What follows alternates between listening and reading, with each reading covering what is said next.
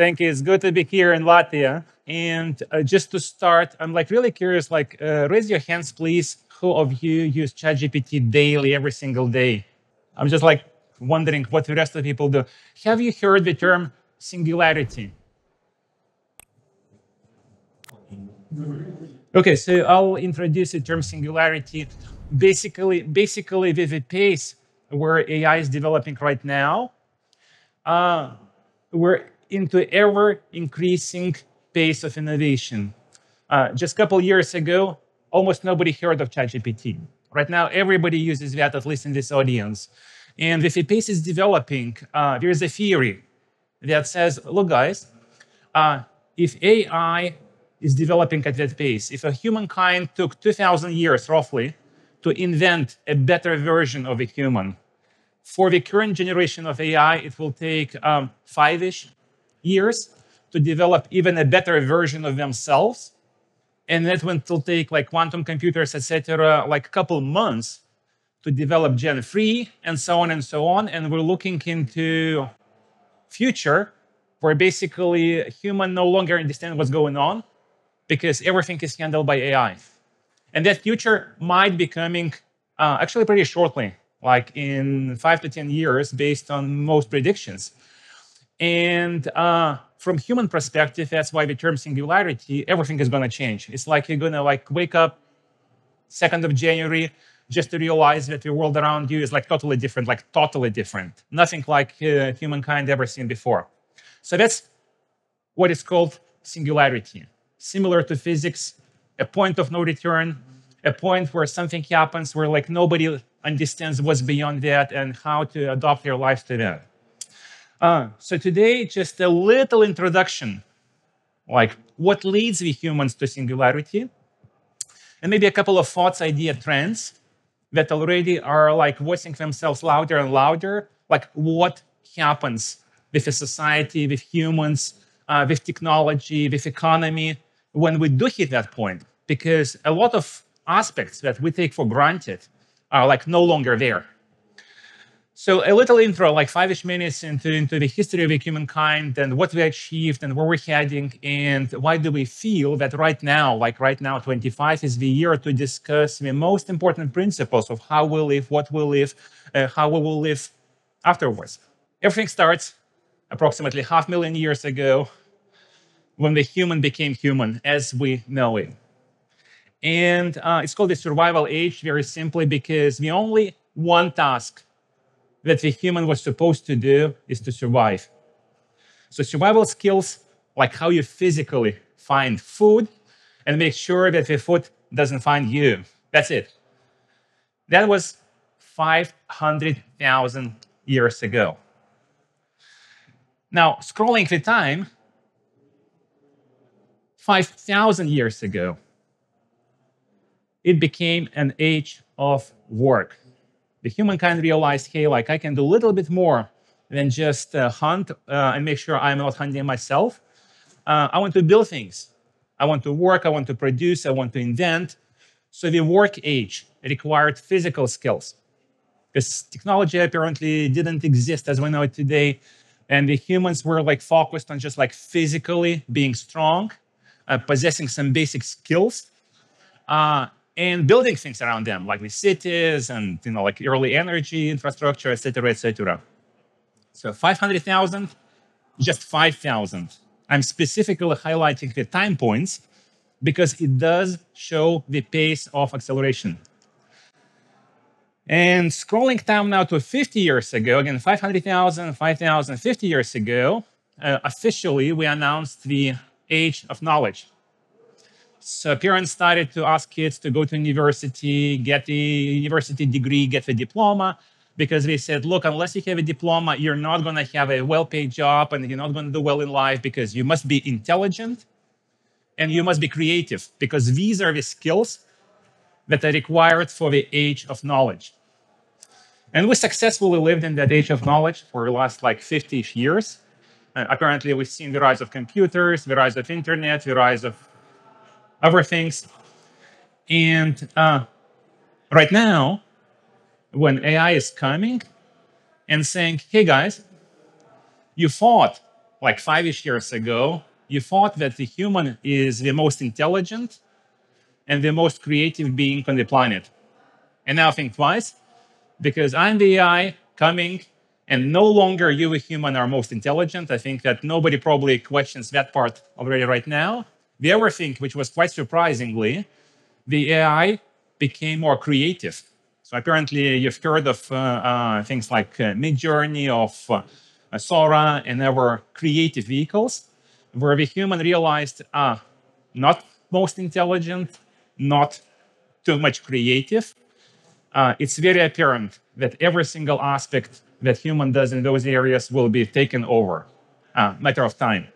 So uh, we started to think around and say, hey, like, uh, what do we do in life? Like, do we really just like leave all the jobs to AI? Do we like give up? Uh, uh, what's our purpose? What's driving us? What are we as a society? So the talks began about how do we build a wisdom society and what are the principles that are driving the wisdom society. And apparently, a very natural question is uh, very simple. Like, why the heck do we care? Like, why do we need to change anything at all? Because uh, we build houses, we build uh, technology, we build uh, energy, we build communication, uh, we enjoy things in life as we think. So why do we need to change anything at all? Uh, and here are just like a couple points to think about. First, about 10ish years ago, a lot of politicians and economists realized that building wealth or GDP or GDP per capita or income just does not make people more happy. Just doesn't. Probably you've heard of this like reverse phenomena. Actually, if you dig a, a little bit into the data, it suggests that the wealthier a country is, in fact, the less happy people are. And that doesn't sound right. Like, why would we just care about building wealth, uh, things, uh, services, products like this iPhone, next iPhone, the Tesla, the house, the grill, the summer house? Why do we need all of that if that does not make feel us happier? In fact, it makes us feel unhappier. And these are some facts that are like really troubling. So first, if you take a, like a very well, like a most advanced economy on the planet, America, the US, uh, you would realize that every one out of six citizens, including kids and all guys, takes antidepressants every single day. One out of six. Crazy. 80% of Americans say they are unmotivated in their work. That's crazy. Like people spend most of their life on sleeping time at work. And 80% of those people are unmotivated. They don't like what they do. They simply do it because uh, they're getting paid, because they need to buy things. As somebody said, people are funny beings because they uh, borrow the money that they don't have to buy things that they don't need to impress the people they don't care about. So why in hell do that? Uh, 61% of Americans want to quit their job at the first opportunity. So, uh, so what happens is, uh, on the one hand, uh, people are saying, "Hey, like uh, we are scared as hell that AI will take our job." On the other hand, they say, "But we don't like the job anyway." So, so uh, is it only me, or you also see a paradox like why in hell we struggle so much giving up something that we don't like anyway? But that's a rhetorical question. And uh, what's instead? Anybody of you have heard the term called happiness economy? Okay, a couple hands. Uh, so for the rest, I will explain. This is what's coming next. So when people realize that building a traditional economy, and I will uh, highlight that currently every single one country, uh, the biggest objective is to build GDP per capita. For every single politician, starting from top uh, to the very bottom, that's the one most single biggest driver for any economy, building GDP, building wealth, building product, building income. Uh, and not making people happy, as we saw that. So the happiness economy is about making people happy. And there are like some principles. One is first time ever uh, people realized economy may not need people. If AI is capable of building actually everything around us, So maybe, maybe those 80%, 61%, maybe uh, they can do something else in life, something that does motivate them, something for society, something for personality, something for their family, something for themselves. So the society becomes uh, very, very differently driven. Uh, the one process which is currently actually is developing for the society is to remove the central centralized model and replace it with decentralized. Everybody of you probably have heard of how blockchain, Bitcoin, etc. works.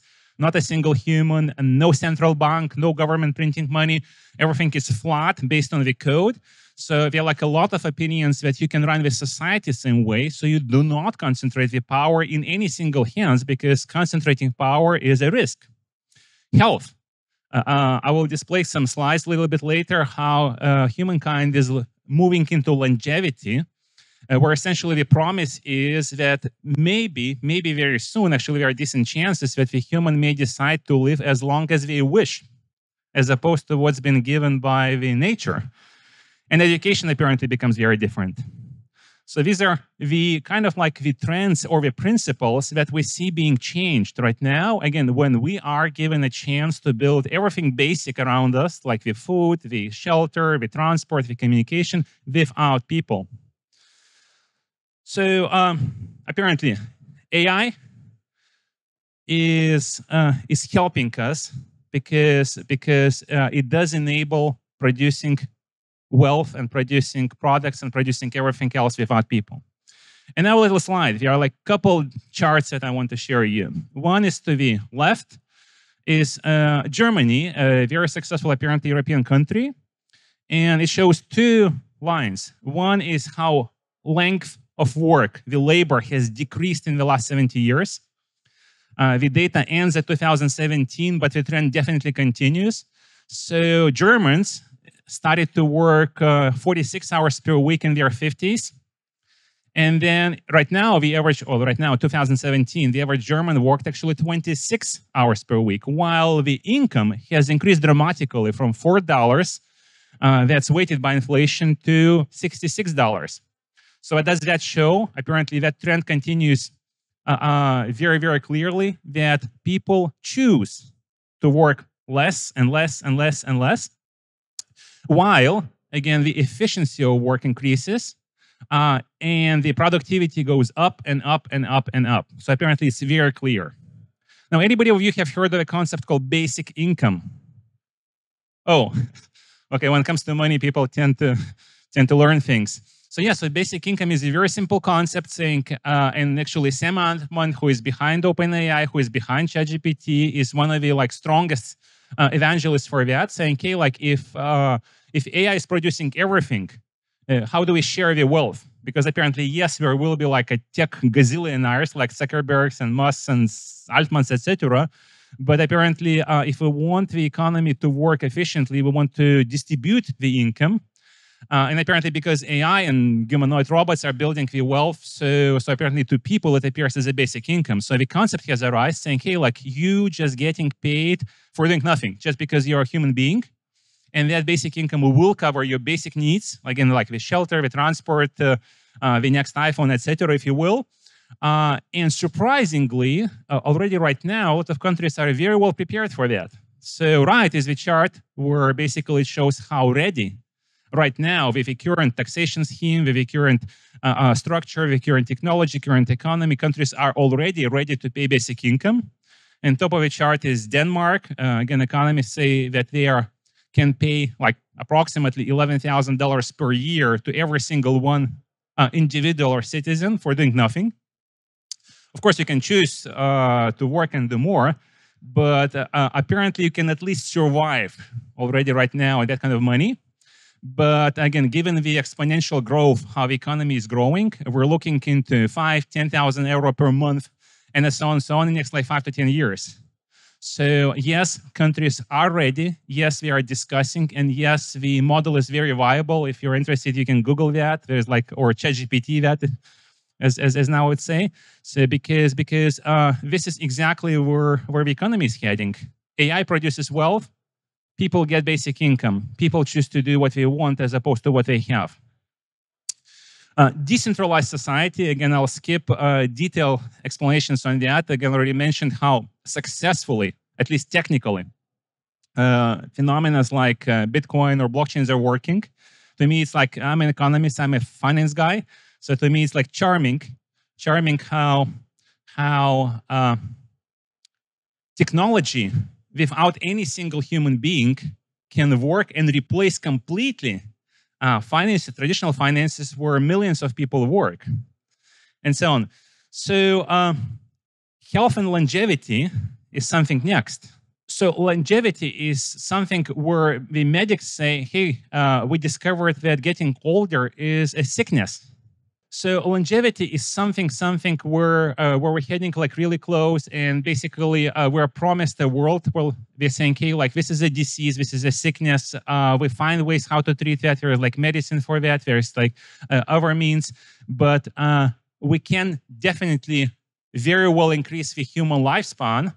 But also, we probably can like place a point where human can decide how long basically he or she lives and again, like those skeptics say, hey, like it's possible, look around, like uh, uh people are not living to their like 150s or 200s. Uh, if you look at the chart to your right, basically average lifespan uh, on the planet, you would realize that just like 100 years ago, people lived maybe a third of what they live now. And it's just been like 100 years. So definitely we're looking to change something here. Okay, education uh, is something that also uh, changes quite a lot. So now when when the parents are saying, "Hey, like uh, learn stuff," you need to be learning math and and and uh, other things because again, you need to get to university, you need to get a diploma, you need to get uh, education, and this is how you're going to build your life. Uh, that part is no longer valid at all.